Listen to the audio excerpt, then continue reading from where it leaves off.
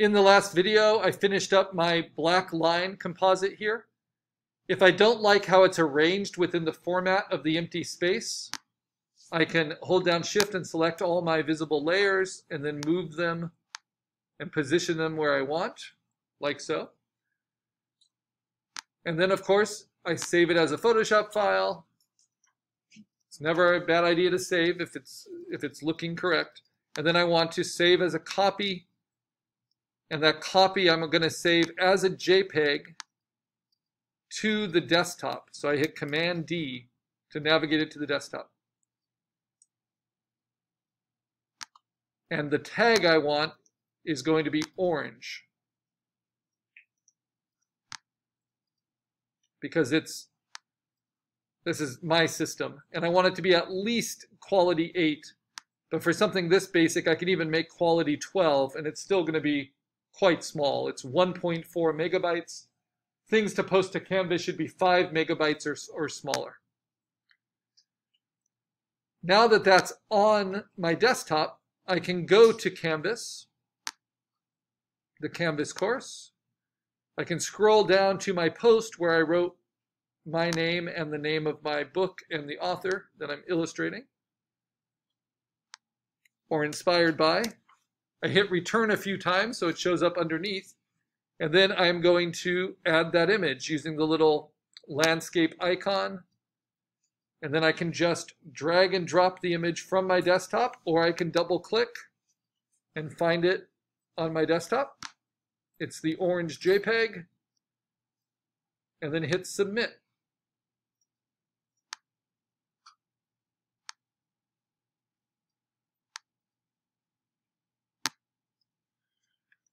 Now, when things come into Canvas, especially when they're 8 by 10 at print resolution, they are really big for the screen, which is good. But we don't want to view it in Canvas where it just takes up the whole screen. So I'm going to scroll it down. And when you do that, you are not taking away quality from the image. I could download this JPEG and it would still be 8 by 10 inches at 300 pixels per inch. But it gives you my black line art solution. And I like how mine turned out, but I'm just a big fan of Kurt Vonnegut. So worked a little extra on it. It's always good to be invested in your work. So now what I can do with this video, that meets all the requirements. That is the good black line art jumble that makes sense.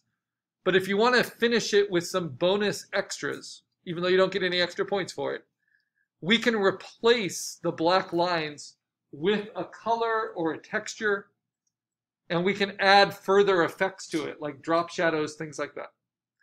So I think of this as this is a, a line drawing. What if I wanted to cut this line drawing out of wrapping paper or out of some sort of fabric?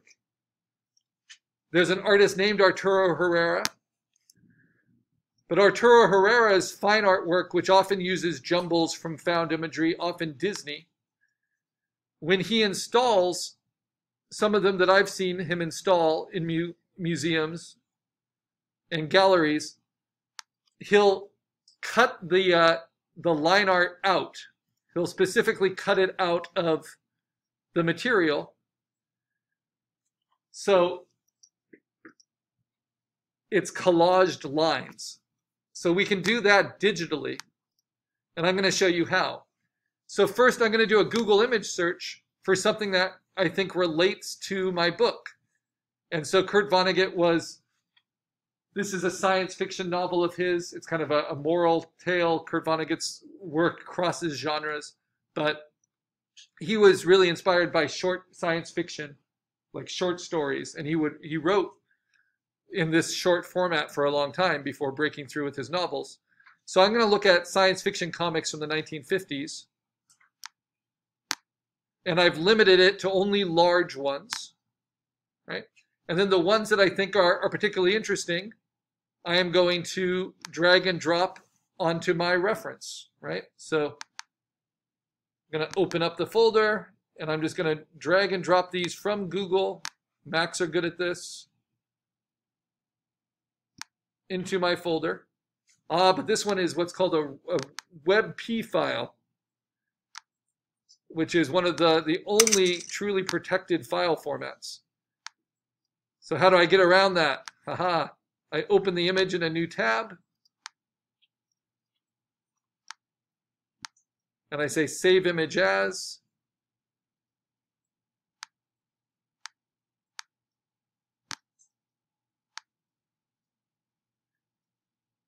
And I see if that image is a WebP file. And if it is, then I can do a screen grab, but it is not. So that's another reason why you always want to say open image in tab to get to the root file because this preview is, is protected. We're going to learn more about copyright. But here I am doing what's called transforming this instead of leaving it recognizable. And you'll see how I do that. So I'm going to take multiple backgrounds because I'm going to blend them together, a lot like we did for our icons for the class. And make a unique kind of wrapping paper to cut my line art out of. And then this is the last one. And I probably don't need four of them. That's probably overkill and I don't want the words. So let's start with this one. I'm going to drag that in, and then I'm going to shrink down my image and then stretch this so that the text is no longer part of the background. But I want the color, and I'll show you first how I would do it with just one image like this. So I'm going to take all my layers. I'm going to make sure they're all visible. And I'm going to make sure that my background white is turned off. I'm selected on the top most visible layer. And then I hold down, this is an amazing trick that I've never seen in any class or in any book. And I forget who showed it to me, but it is wonderful. If you hold down Option and then go up to Layer, and then go and down to where it says merge visible. If you don't hold down option and click this, it will merge all of those layers that have the eyeball turned on into one layer. That makes sense. But if you hold down option, it will merge them all into one layer and not delete your older layers. So you have the best of both worlds. So now I'm going to turn off all of my previous layers, and now I have my line art alone on one layer. Why does that help? Well, because now I can use the magic wand with contiguous turned off, select the empty space around it, right? And now I am going to swap the selection, which is called inverting the selection, which you do by going to select at the top and saying inverse. Now, instead of the empty space around my lines being selected, now it's all my lines being selected. Then I'm going to take that selection and put it onto this new background. And then I'm going to hit Command J. Command J is like a specialized copy paste, which immediately duplicates the selection into a new layer. Command J. And then I turn off the background and voila. I get my line art cut out from that one comic book cover. Super cool.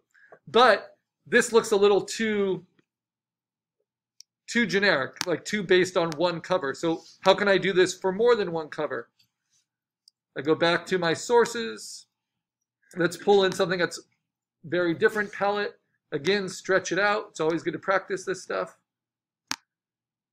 so that the words aren't there, even though it softens the pixels a little bit. I want a little bit more of that creature though.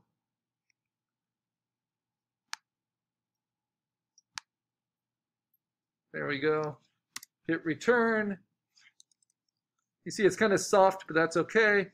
And now I'm going to do the same thing. I'm going to take this layer that's merged, select the empty space, Go to select inverse to select the opposite of the empty space. Move that selection onto this new background and then hit Command J and turn off the background. So now I have two that I can merge onto each other with opacity.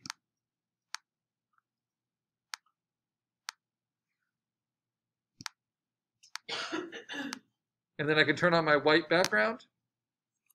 And that looks kind of colorful and interesting and unique. And I like that. And I can also double click on one of them and I can add other effects. I can add a stroke around the whole thing. I can add a drop shadow behind it.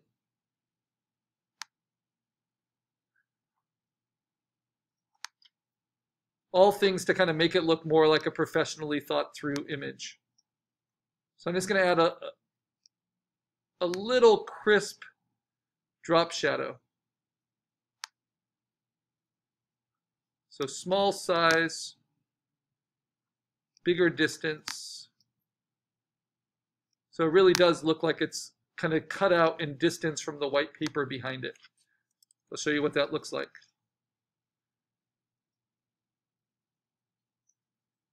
And anytime I want to, because this is a layer style, I can just take its opacity down a little bit. I can clean it up. Maybe close its distance a little bit, soften it just a tiny bit.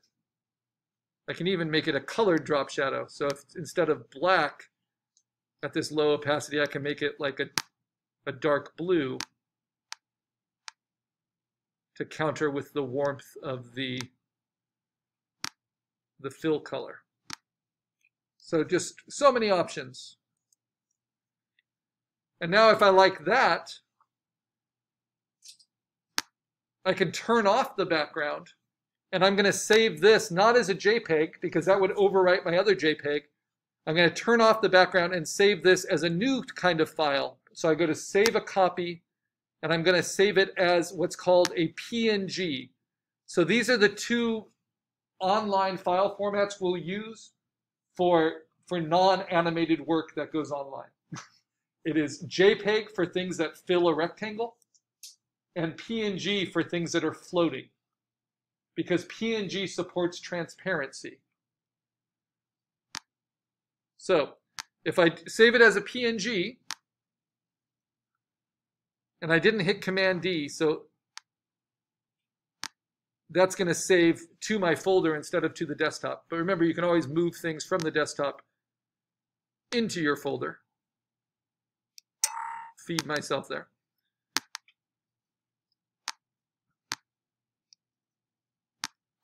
So now I have all the most updated files in my folder. When I open up the PNG in preview, it doesn't show on white anymore. It shows on kind of a 30% gray. And that's because it's free floating. And if I copy this, so if I go to edit in preview and copy it, and then I open up, or I go to my exercise one folder, right? and I right click it and say get info, just like we swapped our class folder, I can then paste in my, my icon. But it will be really blurry because it's not a perfect square. But what's great about a PNG is it floats on the background. So if it's on the blue background of my desktop, the blue will fill in the space. But I'm not going to do that yet, right? And then if I put it into Canvas, which I will do. A PNG works just fine in Canvas. It's another online format. And if you decide to color it, I'd like you to upload both your, your black line version and then your colored version.